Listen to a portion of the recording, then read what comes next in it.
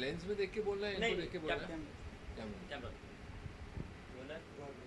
Sir सबसे पहले तो मूवी के बारे में जानते हो किस तरह की मूवी बनाई? ये मूवी मेरे हिसाब से एक थ्रिलर है। और थ्रिलर में भी और लेयर्स हैं। जहाँ तक कि मेरा कैरेक्टर है उसमें ये है कि इसका एक पास्ट है इसका एक प्रेजेंट है जो आपको फ़िल्म में पता लगेगा। मगर लीनियर नहीं है।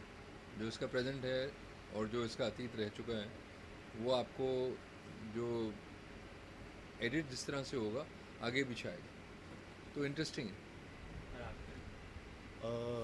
इसमें मेरा कैरेक्टर एक बिजनेसमैन का है। और मेरी और राहुल जी की पूरी फ़िल्म में एक बिज़नेस एक बिज़नेस फाइट है। और हम लोग पूरी फ़िल्म में एक बिज़नेस के हिसाब से हम लोग फाइट करते हैं और बीच में हम लोग हमारी कंपनी को हम लोग एक दूसरे के साथ मर्ज करके पार्टनरशिप करके फिर कंपनी को आगे बढ़ाते हैं। और काफ़ी पॉजिटिव कैरेक्टर है, काफ़ी पॉजिटिव थिंकिंग वाला कैरेक्टर है बट बहुत लाइफ में कुछ करना चाहता है ये कैरेक्टर बहुत ज़मीन से उठा हुआ है तो इसने अपने लाइफ में सारे शेड्स देखे हैं। तो इसकी ज़िंदगी में पैसा कमाना, अपने आप को इस्टेब्लिशमेंट करना, वो है। और इसी के चलते कहीं ना कहीं उससे कुछ ना कुछ ऐसी मिस्टेक हो जाती है जो जो ज़िंदगी की सबसे बड़ी प्रॉब्लम उसको सामने क्रिएट करते हैं। आप इस मूवी में देखा जाए तो डायरेक्टर भी बने हुए हैं जितने हमें मालूम पड़ा है। तो किस तरह का एक्सपीरियंस रहा? फ़र्स्ट टाइम सर बहुत मज़ा आया सर बहुत मज़ा आया. As an actor and director काम करके बहुत मज़ा आया. And special thanks to Rahul sir जिन्होंने मुझे फुल सपोर्ट किया. और special thanks to my my producer mister Adhir Ganesh जो मॉरिशस के हैं. और वो पहले ऐसे बॉलीवुड के प्रोड्यूसर हैं जो मॉरिशन हैं. और उन्होंने बॉलीवुड फ़िल्म बनाई है हिंदी फ़िल्म बनाई और ये हिंदी एंड फ्रेंच फ़िल्म है। हम दोनों लैंग्वेज में इसको रिलीज़ करेंगे। पूरी शूटिंग मॉरिशस में हुई है और काफ़ी सुंदर और काफ़ी प्यारे गाने हैं। सिंगर हमारी फ़िल्म में अंकित तिवारी, पलक मुच्छल, आदित्य नारायण, दीपाली साठे, शान, ये सब हैं। और म्यूज़िक परिवेश जी का है, गीतकार हैं सागर लाहौरी। और एक आपको बहुत अलग सिनेमा आपको ये फ़िल्म देखने के बाद दिखेगी। राहुल सर शिवम को आप किस तरह से देखते हैं? एक्टिंग वाइज ज़्यादा ये है कॉन्फिडेंट दिखते हैं कि एज अ डायरेक्टर देखिए सर मेरे लिए तो डायरेक्टर ज़्यादा अहम है क्योंकि किसी भी एक्टर के लिए पहले डायरेक्टर होता है।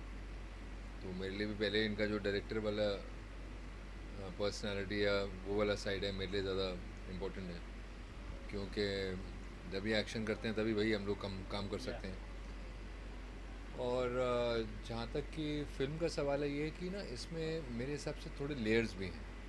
इसमें जैसी आपको चीज़ें दिखेंगी, वैसी शायद हैं या शायद कहीं नहीं भी हैं। तो जैसे जैसे कहानी जाती जाएगी वैसे वैसे आपको ना लेयर्स वो खुलते जाएँगे। ठीक है ओपनली तो ये है कि there is a person who is reached a certain place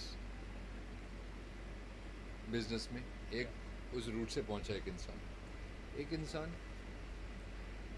नए तरीके से आया है और उस इंसान के दरवाजे पे खटखटा रहा है कि शायद तुम्हारा रूट ये था, तुम भूल गए हो। मगर मैं उसी रूट से अब ये वाली जगह लेने आया हूँ। इस किस्म का है, मगर वो कश्मकश सीधी नहीं है। उसमें लेयर्स हैं और वो लेयर्स ही हैं जो फ़िल्म को या कहानी को मैं कहूँगा इंटरेस्टिंग बनाते हैं। थोड़ा जो फ़िल्म का मिस्टीरियस साइड है या अनहोना साइड है जो दिखता नहीं है सीधा सीधा ऑडियंस को वो उन लेयर्स की वजह से ही इंटरेस्टिंग है। ये दोनों से क्वेश्चन देखा जाए तो किस तरह का एक्सपीरियंस रहा ओवरऑल काम करने का एक दूसरे के साथ में? और खास करके आपसे कितना सीखने के मिला राहुल सर से? आपको? एज एन एक्टर बहुत कुछ सीखने को मिला। मैं मैं सर का बहुत बड़ा फ़ैन था। और जब हम लोगों ने इस फ़िल्म इनफैक्ट इस फ़िल्म की स्टोरी भी मेरी है। जब ये स्टोरी हम अ, सोचा गया था मैंने सोचा था उसी समय मेरे जहन में था कि ये कैरेक्टर राहुल सर ही कर करेंगे तो ज़्यादा बेटर रहेगा। कैरेक्टर सिर्फ़ और सिर्फ़ राहुल सर के लिए मुझे क्योंकि एक्चुअली मुझे एक ऐसा ब, अ, बंदा चाहिए था ऐसा आर्टिस्ट चाहिए था जो इंडियन भी लगे फ्रेंच भी लगे दोनों शेड्स दिखाई दें। और ये फ़िल्म देखने के बाद आपको राहुल सर के उस कैरेक्टर वो कैरेक्टर में आपको दिखेगा। इंडियन भी हैं बट फ्रेंच भी हैं। सो so, एक बहुत अच्छा रहा सर के साथ काम करके। और रही बात एज एन डायरेक्टर की। So I I really very proud कि मैंने जो कहा सर ने वो किया। और हम लोगों ने इस फ़िल्म के बेटरमेंट के लिए हर कुछ जो कर सकते थे हम लोगों ने किया। सर ये मूवी जब आपके पास आई थी देखा जाए तो ऐसा कौन सी चीज़ है जो दिल को छू गई कि ये मूवी करना ही है मुझे? इसके थोड़ा बताएँगे मैंने बताया ना जो कहानी की जो है ना कहानी सीधी नहीं है। कहानी में लेयर्स हैं। मतलब एक तरीके से लीनियर है बट वो लीनियर किस्म की कहानी में भी ना लेयर्स हैं। ऐसा नहीं कि कहानी चलती जा रही है। एक पहला पन्ना और दसवां पन्ना, दसवें पन्ने में जो कहानी है, वो पहले पन्ने के बाद है, ऐसा नहीं है। अगर बीसवां पन्ना भी पहुँचे हैं आप कहानी का तो उसमें कहीं ना कहीं एक पीछे का एक नया चौबीसवें पच्चीसवें पन्ने में पता लग रहा है अच्छा ये भी है। तो वो बैक फोर्थ जो इसका स्टाइल ऑफ़ नरेशन है, वो एक तो मुझे इंटरेस्टिंग लगा। दूसरा इंटरेस्टिंग ये लगा कि जो इसमें लोकेशंस हैं आई मीन मॉरिशस खूबसूरत है, सबको ही मालूम है। मगर ये कहानी को सेट ही वहाँ कर दिया गया है। और कहानी वहाँ की है, और ऐसा नहीं है कि ज़बरदस्ती वहाँ की घुसेड़ दिया गया है कि चलो यार मॉरिशस जाना है, मज़े के लिए तो वहाँ जा रहे हैं। Story is based out of Mauritius अगर आप मॉरिशस की भी कहानी देखेंगे तो मेरे ख्याल से सत्तर प्रतिशत सत्तर तो नहीं, मैं आंकड़ा नहीं बोलूँगा क्योंकि शायद गलती हो जाएगी। मगर काफ़ी हद तक की वहाँ की पॉपुलेशन या तो इंडियन है क्रियोल बोलने वाली क्रियोल उनकी नेशनल लैंग्वेज है जो कि थोड़ा फ्रेंच से बहुत सिमिलर है। मगर बहुत इंडियंस हैं। इनफैक्ट वहाँ पे शिव जी का मंदिर है, बहुत शानदार। वहाँ पे हनुमान जी की मूर्ति की स्थापना भी है उसी जगह पे। सो इट्स इनफैक्ट जो वहाँ के हिंदुस्तानी लोग हैं या हिंदू हैं, मैं ये कहूँगा, वो, उन्होंने अपनी सभ्यता और ज़्यादा पास रखी है। मुझे ऐसा लगता है जब दूर चले जाता है इंसान तो वो अपने जो वैल्यूज़ लेके आता है पिछले उनको और बहुत करीबी और बहुत ही अच्छे ढंग से रखता है। तो आ, मुझे एक ही अच्छा लगा कि जो स्टोरी है हिंदुस्तान में शुरू हुई और उसकी कल्मिनेशन मॉरिशस में। तो एक तो वो लॉजिक कि जैसे वहाँ इंडियंस जाते हैं second generation third generation Indians है वहाँ पे वो एक्चुअली हैं। और अ, उस लॉजिक को भी स्टोरी में रखा गया है। दूसरा इसका जो नरेशन और नरेटिव स्टाइल है वो दोनों बहुत इंटरेस्टिंग थे मेरे। सर ने मॉरिशस के बारे में बता दिया। आप क्या बताना चाहेंगे? किस तरह का एक्सपीरियंस रहा वहाँ का और कोई Actually- एक इंसिडेंट मुझे आपसे शेयर कर सकते एक्चुअली मैं अगर फ्रेंकली अटेल हूँ मेरे पास एक ही शब्द है मॉरिशस के लिए। Mauritius is a paradise beautiful beautiful beautiful country है। और मॉरिशस जाने के बाद ऐसा नहीं लगता कि हम किसी अलग कंट्री में गए इंडिया का ही अपग्रेड वर्जन लगता है मॉरिशस और अपग्रेड तो नहीं बोलूँगा मगर ये है कि आ, इंडिया की अपनी ब्यूटी है मॉरिशस की अपनी ब्यूटी है मगर ये है कि जिस हिसाब से उन्होंने उसे मतलब मुझे याद है मैं शायद नाइन्टी नाइन नहीं शायद नाइन्टी नाइन में या टू थाउज़ेंड में गया था लास्ट उसके बाद सत्रह में इस फ़िल्म के लिए गया था। उस सत्रह सालों में मतलब मैंने हिंदुस्तान को भी देखा सत्रह सालों में से कहाँ से कहाँ आए जो बहुत शानदार चीज़ मुझे लगी सत्रह सालों में अदर दैन द ग्रोथ वो इसकी जो पोल्यूशन लेवल्स थे और जिस किस्म से उन्होंने प्रिजर्व किया है अपने कंट्री को बहुत शानदार तरीके से किया। आई थिंक वो हमें भी थोड़ा अब यहाँ luckily nineteen state Maharashtra plastic ban ठीक है? मगर तो भी मैं देखता हूँ कि प्लास्टिक बैन ज़रूर हो गया मगर लोगों की तो भी कंप्लेन आ रही है यार मग नहीं मिल रहा है पीने के लिए। ये अरे एक तरीके से वो कोशिश कर रहे हैं कि प्लास्टिक को हटा दें और एक किस्म से मतलब you are taking the state forward and nineteen state है ऐसा जो कर रहा है। मतलब ऐसा नहीं है कि पहला स्टेट है जिसने किया तो ऑलरेडी उन्नीसवें नंबर पे हैं हम लोग। मगर उसमें भी लोगों को आपत्ति है कि यार ऐसा क्यों होना चाहिए? एक तरीके से वही लोग कंप्लेन करते हैं फिर कि यार ये इतना प्लास्टिक फेंका हुआ है। ये कैसे इसको डिग्रेड करेंगे? कैसे बायोडिग्रेडेबल बनाएँगे? बट जब गवर्नमेंट करती है तो पूरा सपोर्टिव भी नहीं होते हैं। तो इसलिए I I feel that's the one thing I learn from the people of Mauritius the way that they have kept their country, they've kept it almost like as beautiful or it was 17 years ago, which is a very big thing. That's really a very big thing. Okay से songs भी shoot हुआ है देखा जाए तो फिर आप भी है आप लोग दोनों किस तरह का एक्सपीरियंस रहा डांसिंग का ये जानना चाहूँगा और आप कहाँ ज़्यादा एंजॉय करते हैं एक्टिंग की जी नाचने का ना, नाचने का एक्सपीरियंस इनका रहेगा। और जो ये क्वेश्चन आपने सवाल है, तो मुझे तो ऐसे है कि बुरे बुरे सपने आने लग जाते हैं कि अभी ऐसा कुछ नाचना वाचना है तो तीन चार दिन नींद ही नहीं आती है। तो लकीली इन्होंने मेरी हेल्प करी है कुछ खास मुझे नाचना वाचना नहीं पड़ रहा है। बाकी नाचने के बारे में शुभम सर ही बताएँगे। एक्चुअली ये जो अभी हम लोग गाना पिक्चराइज कर रहे हैं प्रमोशनल सॉन्ग है हमारे फ़िल्म का। और इसको गाए हैं आदित्य नारायण जी ने। परफॉर्म भी कर रहे हैं वो। और हम लोग साथ में हैं और पूरा हमारी हमारे स्टार स्टार्स पूरे एक्टर्स हमारे इस फ़िल्म में हैं। मतलब इस गाने में हैं। और ये फ़नी गाना है। Stylish stylish funny you can say मतलब आप बिल्कुल इन्जॉय करो आप। कोई ऐसा नहीं है कि आप सर पे ज़्यादा टेंशन प्रेशर लेके गाना देखो। इन्जॉय करो सर ये गाना है। साउथ में साउथ में मेरी 9 फरवरी को एक फ़िल्म रिलीज़ हुई है, उसका नाम था इंटेलिजेंट ये वी वी विनायक साहब इसके डायरेक्टर थे। काफ़ी बड़े डायरेक्टर हैं साउथ के वी वी विनायक, तेलुगु में। और इसके हीरो थे साई धर्म तेज फ़िल्म ने अच्छा बिज़नेस किया। उसके अलावा यहाँ पे 26 जनवरी को एक वेब सीरीज़ का हिस्सा था मैं। बहुत शानदार वेब सीरीज़ थी ऑल्ड बालाजी के लिए। निमृत कौर इसमें थी। मुख्य भूमिका में उसमें अतुल थे, कुलकर्णी, मैं। और अन्य बहुत सारे नए एक्टर्स एन के। तो इसके अलावा तोरबाज कर रहे हैं संजू बाबा के साथ। उसके डायरेक्टर गिरीश मलिक काफ़ी ब्राइट लगते हैं मुझे काफ़ी अच्छी स्टोरी है। और शिवम साहब के फ़िल्म कर रहे हैं। Twenty two days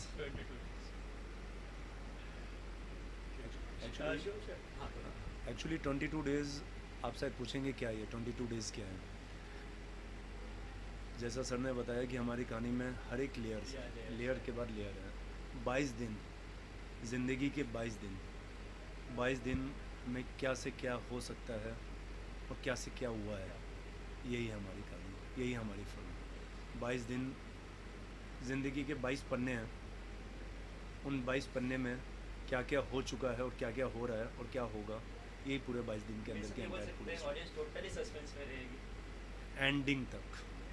एंडिंग तक, बाईसवें दिन जाके पता चलेगा कि पहले दिन जो हुआ था, वो क्यों हुआ था, फिर दूसरे दिन हुआ, उसका रीज़न क्या था, फिर तीसरे दिन हुआ, उसका रीज़न ये 21 दिन तक पूरा आदमी सस्पेंस में रहेगा, हमारी ऑडियंस रहेगी और कोशिश कर रहे हैं कि ऑडियंस हमारी वो चीज़ स्टोरी के साथ हम जस्टिफाई करें और जब देखेंगे तो आपको पता चलेगा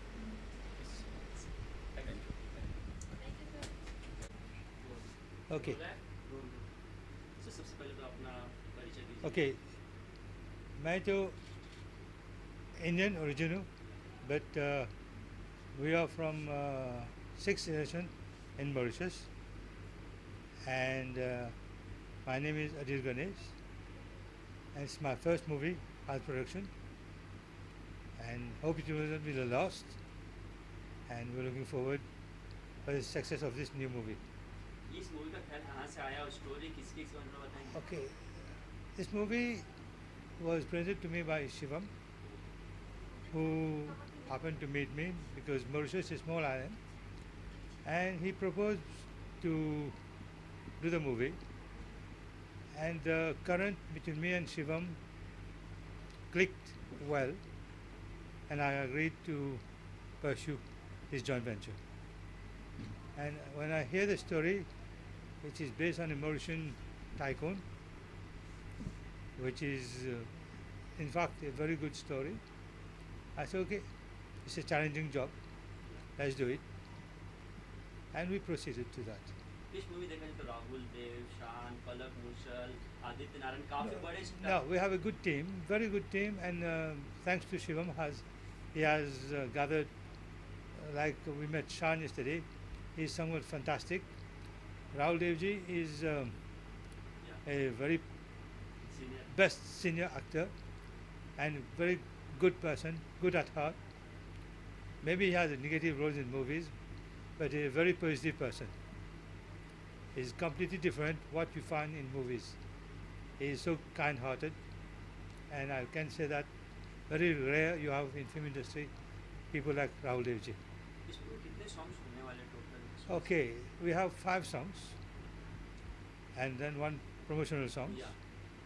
Five songs which were, and I believe that one of the songs which you will hear will be on the lips of everyone because that song is so soothing, so nice to hear that you will feel like hearing it every day. Oh, uh, problems no, but you know, it's not, we can't call it problems. We call it obstacle which you have to go beyond. And if you have an obstacle on the road, you don't stop driving, you proceed. And this is the way we have proceeded in the movie. And uh, luckily, we have been successful with blessing of everyone and support of everyone and assistance of everyone.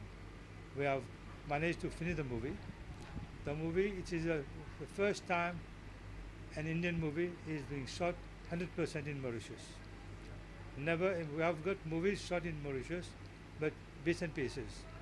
And as you are aware that, like, like many movies, uh, many movies, the first movie which was shot in Mauritius was Sultan, yeah. years back. And then there was Hum by Amitabh Ji. Yeah. And uh, after many more. Today, government of Mauritius has uh, given through Board of Investment a rebate scheme to invite all filmmakers to shoot in Mauritius. And government of Mauritius has uh, been of great assistance and they give all support to them. तो movie complete हो गई है कब तक release करने का इरादा है Hopefully, after this, we're planning to release the movie by August and yeah, this August, 2018. And uh, the dates are fixed, but before the music album will be launched and the publicity will be started. Hopefully, because we have already appointed people, professionals to do that. Thank, thank you. अ, बहुत ही fun बहुत ही energetic और एक dance number है actually और अ, हमारे मित्र हैं शिवम और अ, उनकी नई फ़िल्म आ रही है राहुल देव जी भी हैं जिनके साथ मैंने पहले काम किया है। सो उन्होंने बताया कि वो एक नई फ़िल्म बना रहे हैं जो कंप्लीट हो चुकी है। अब उसके लिए एक प्रमोशनल गाना करने का सोच रहे हैं। तो ये गाना मैंने ऑलरेडी गा दिया था गाने का नाम है गजब मैटर गजब मैटर एक्चुअली तो इट्स डांस नंबर जिसमें थोड़ा सा हमारा यूपी बिहार का फ्लेवर है। और बस अभी शूटिंग शुरू होने वाली है तो बस मेकअप वेकअप लगा के तैयार हो गए हैं। आप भी देखा है आप भी सॉन्ग में होने वाली जी, जी। किस तरह का प्रिपरेशन रहा है ओवरऑल प्रिपरेशन के लिए टाइम नहीं दिया इन्होंने दो दिन पहले बोला मुझे अ, क्योंकि पूरी फ़िल्म इन्होंने मॉरिशस में शूट की है। अ, लेकिन वहाँ पे शायद अ, कुछ डांस रिहर्सल्स में कुछ प्रॉब्लम्स हो रही थी या इनफ डांसर्स नहीं मिल रहे थे। तो ऑब्वियसली अब बॉम्बे से अच्छी जगह तो हो नहीं सकती है। यहाँ पे आपको जितने जान डांसर्स चाहिए आपको मिल जाएँगे। तो उन्होंने हमें बताया कि वो बॉम्बे में शूट कर रहे हैं तो उन्होंने कहा अगर आप फ्री हैं इन इन इन दिनों पे so can we have you in the song तो मैंने खुशी खुशी हाँ कर दी एंड आई एम हियर इस मूवी का डिमांड के हिसाब से सॉन्ग बनाए हैं कि क्या? आई थिंक कोई भी प्रमोशनल गाना जो है उसकी डिमांड एक ही होती है कि फ़िल्म को प्रमोट किया जाए।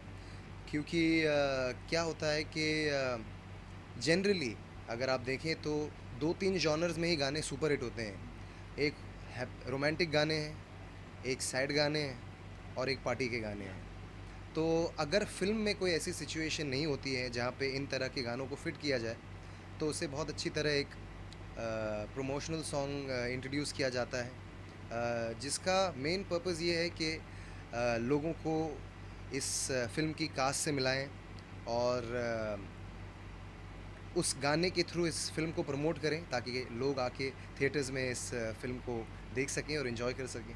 तो क्या हमें इस गाने में पूरी मूवी की झलक दिखेगी? हम ये बोल सकते कहीं ना कहीं ऑब्वियसली देखिए ये ज़रूर होता है कि एक प्रमोशनल सॉन्ग में एक यू नो पूरा स्टारकास्ट होता है फ़िल्म का बट एक अलग रूप में होंगे सब लोग fun mostly it's a fun party song तो अगर फ़िल्म में वो सीरियस हैं तो यहाँ पे वो सीरियस नहीं होंगे. Everybody is going have a good time सब अ, नाचेंगे गाएँगे और अ, बस बहुत सारा फन करेंगे.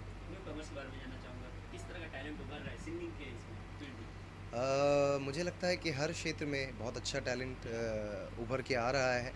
क्योंकि मेरी जनरेशन या मेरे बाद वाली जो जनरेशन है मुझे ऐसा लगता है कि हम लोग बाकी का पता नहीं बट काम के मैटर में हम लोग बहुत फोकस्ड हैं। यू नो हम अपने अ, काम को प्रोफेशन uh, को करियर को बहुत सीरियसली लेते हैं। अ, जो अ, हम हमारे सारे न्यू कमर्स में देख रहे हैं चाहे वो सिंगर्स हों या कंपोज़र हों या एक्टर्स हों या प्रोड्यूसर डायरेक्टर्स हों I think you know life is all about constant evolution तो uh, हमारी फ़िल्म इंडस्ट्री भी हमारी म्यूज़िक इंडस्ट्री भी इवॉल्व कर रही है which is a great thing और I wish all the best to all the all the young talent और मैं यही चाहूँगा कि आप लोग बहुत अच्छा करें मेहनत करें और ऐसे ही आगे बढ़ें।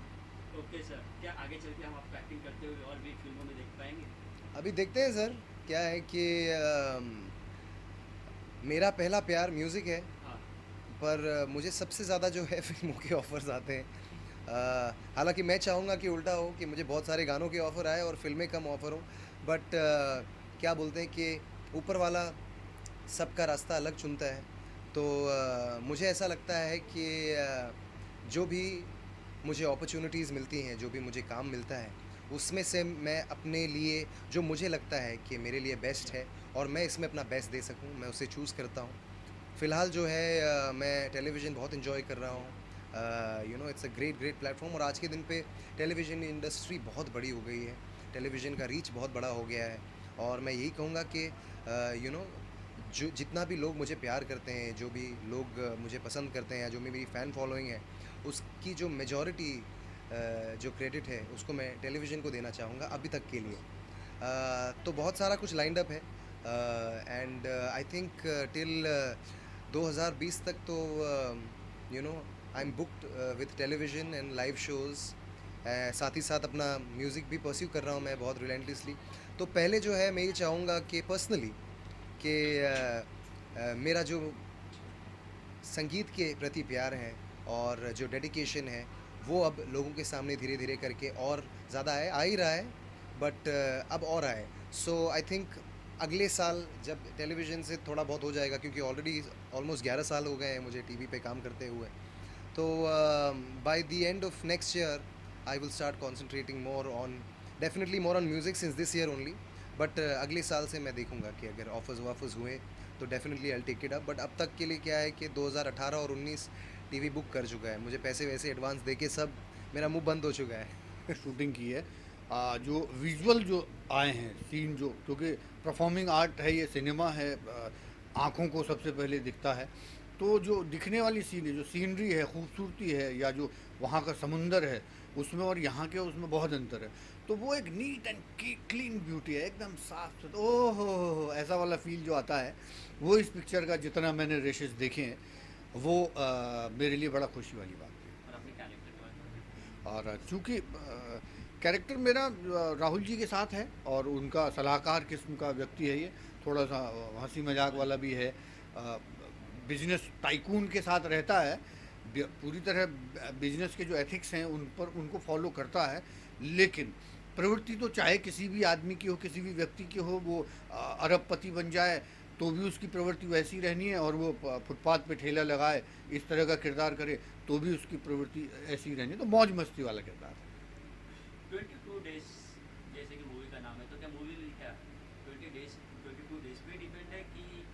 है तो है अ, है? नहीं वो तो उसका कहानी का ताना बाना इस तरह का है लेकिन मैं तो चाहता हूँ ये ट्वेंटी टू डेज़ अगर चल जाएगी तो सबके वारे नारे हो जाएँगे इसमें Yes, sir. Sir, किस तरह का एक्सपीरियंस रहा राहुल देव के साथ में काम करने का? राहुल- तो हाँ। जी जी देखिए शिवम का मेरा जो जो ऑब्जर्वेशन मेरा है जितना एक कलाकार होने के नाते उनके साथ काम करने का जो मौका मिला वो ये है कि उस वो व्यक्ति जुनूनी आदमी पागल आदमी है। तो और ये खेल ही पागलपने का है क्योंकि जुनून आपको होना चाहिए। और जुनून किसी भी चीज़ में अगर आप ले लें तो जुनून आप जब जोड़ते हैं तो उसके बाद उसके अलावा जो किसी चीज़ को पाने के लिए जो बाकी आस्पेक्ट्स हैं, वो धीरे धीरे जुड़ जाते हैं। ठीक उसी तरह जैसे हम नेगेटिव एनर्जी और पॉजिटिव एनर्जी पे विश्वास रखते हैं तो शिवम की जो ऊर्जा है, जो है, सकारात्मक एनर्जी है काम को लेके, मुसीबत है, धूप नहीं है, सन जा रहा है, समुंदर में नाव पलट रही हमारी, और ऐसे पलट रही कि एकदम बड़ा अरबपति दिखाना है और दो पैरों पे खड़े नहीं हो पा रहे हम, समुंदर में नाव चल रही है। तो ऐसे ऐसे फिर जो काम हमने किया, वो शिवम का डेडिकेशन है। और जो राहुल जी की जो बात है उनके साथ मैं बहुत बरस पहले से काम कर चुका हूँ। सच बताऊँ तो कोई भी फ़ील्ड जो है ना तपस्या के बगैर साधना नहीं हो सकती उसकी। आप उस व्यक्ति को आप देखेंगे तो आपको लगेगा कि वो फ़िल्म का आ, कलाकार है लेकिन व्यक्तिगत रूप से आपको लगेगा ये तो बाबा जी हैं। राहुल देव इतना धैर्य इतना पेशेंस कोई भी एक्सप्रेशन डायलॉग डिलीवरी मतलब मेरे और उनमें बहुत अंतर है। मुझे काम करके उनके साथ जो और चूँकि किरदार भी दोनों का अलग अलग प्रवृत्ति का है तो वो जो केमिस्ट्री है उनकी प्रवृत्ति का और मेरी प्रवृत्ति का जो दोनों किरदारों की प्रवृत्ति है वो सिनेमा में एक अलग तरह का अ, काम आएगा। तो थोड़ा सा तो बहुत। जो हमें कर सके? मैं तो देखिए व्यक्तिगत रूप से बताऊँ मैं तो अपने बच्चों को साथ लेके गया था। तो मैंने कहा क्या बोलते हैं उसको? खाया पिया, कुछ नहीं, गिलास थोड़ा बनाना। चलो बच्चा।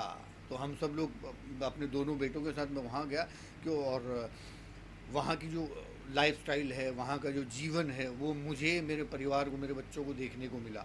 तो वो हमारे लिए एक व्यक्तिगत पारिवारिक उपलब्धि है। सिनेमा के बहाने में तो कोशिश करता हूँ अपने मम्मी पापा को भी विदेश ले जाऊँ शूटिंग में। वो एक व्यक्तिगत रूप से कभी न भूलने वाला अनुभव है। और दूसरा जिस तरह का हम लोगों ने शूटिंग वहाँ पर की, कोई कमी नहीं। जनरली क्या होता है कि हर आदमी शूटिंग लाइन में हमने देखा है, कोई ना कोई बुराई अच्छा खाना भी दो, रोज़ दो बोला, ये क्या रोज़ फाइव स्टार ये कोई लाइफ पे क्या? बोर हो गए। लेकिन वहाँ पर ऐसा कुछ नहीं था। हर चीज़ें व्यवस्थित थी थी सिस्टमेटिक थी। वहाँ की जो टीम थी प्रोड्यूसर्स जो वहाँ के सब लोग, वो एकदम दिल से मतलब एक तो उनका इंडिया के प्रति लगाव और दूसरा वो लोग भी अपने अपने काम के मास्टर हैं। तो जो भी व्यक्ति अपने काम का मास्टर होता है वो दूसरे काम में भी जाता है तो वो चाहता है कि ऐसा परफेक्शन हो। तो वो परफेक्शन हमारा वहाँ मॉरिशस में उन लोगों का था तो वो हर चीज़ अच्छी होती गई। सॉन्ग्स की बात करें तो आप सॉन्ग्स में भी परफॉर्म करने वाले जी जी जी मेरा। बल्कि वो सॉन्ग की लाइनें जो मेरी हो भी गई हैं और बहुत दिनों के बाद मतलब इस तरह के गाने में जो एकदम मस्ती है और जो हम व्यक्तिगत रूप से नहीं कर सकते वो भी पर्दे में करने को मिलता है। कि आप वहाँ लड़की छेड़ रहे हो और उसके बारे में तारीफ़ कर रहे हो उसके फिगर की तारीफ़ कर रहे हो तेरा ज़ीरो फिगर ने मेरा दिल गुर्दा कलेजा फेफड़ा सब मेरा ख़त्म कर दिया। तो ये हम वैसे तो नहीं कर सकते लेकिन एक्टिंग में ही मौका मिलता है जितना आपके एक्सप्रेशन है वो आप मौज से करो।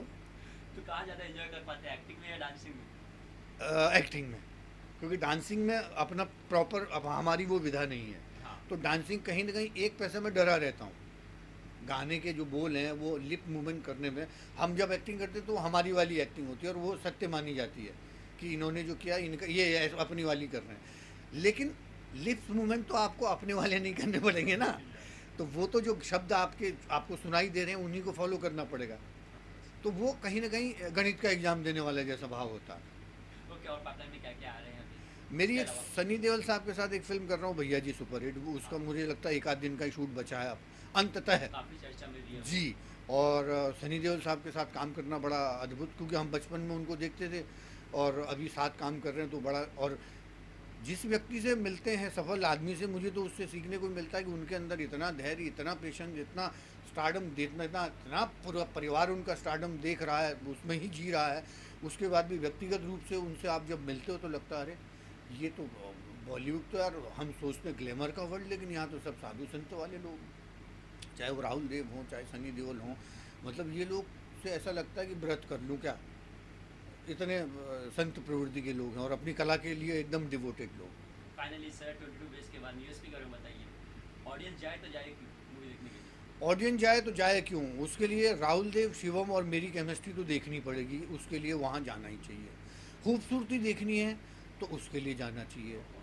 और आपको जितने पैसे में आप हिंदी यहाँ की पिक्चर देखते हो उतने में विदेश की लोकेशन आपको देखने को मिलेगी इसलिए जाना चाहिए। और दूसरा जो शिवम का जो डेडिकेशन है उसका जो अनुभव है और जिस भाव से वो काम कर रहा है वो आपको एक लगेगा कि यार कोई भी काम करने से पहले आपको अंदर क्या क्या आपके क्लीननेस होनी चाहिए वो हर चीज़ में काम आती है तो ये भाव के लिए भी आपको पिक्चर देखनी चाहिए। Thank you